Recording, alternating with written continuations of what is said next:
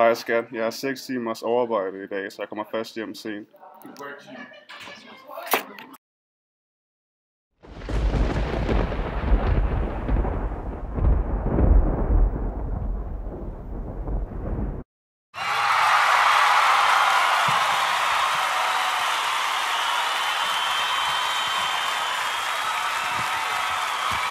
Mindre stat giver mere frihed.